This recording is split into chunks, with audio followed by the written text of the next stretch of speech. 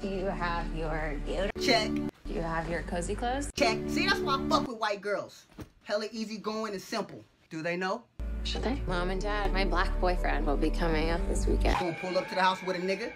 I mean, they gonna be shocked. I never seen you like this before, bruh. meeting families, taking road trips. Don't come back all booed. So how long has this been going on? This this thing. I've been giving her this black D for about five months, Rose.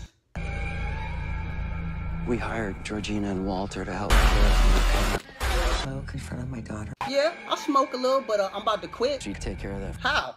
hypnosis. Hypnosis? Niggas don't do that shit. Rose! Get your mom! Apparently, a whole bunch of brothers been missing in this suburb. Nigga, stop hating! You just mad cause I got a bad one. Bro, how you not scared? Bro, it's all good. I'm used to being around all white people. I went to private school. If there's too many white people, I get nervous.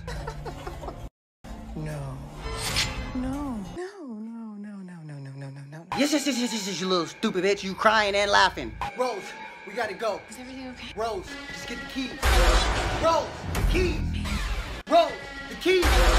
Is everything okay? You don't see your mom and your dad about to rush me? I don't know where they are. Bitch, stop lying. I seen all the pictures in the closet. You out here luring niggas over here.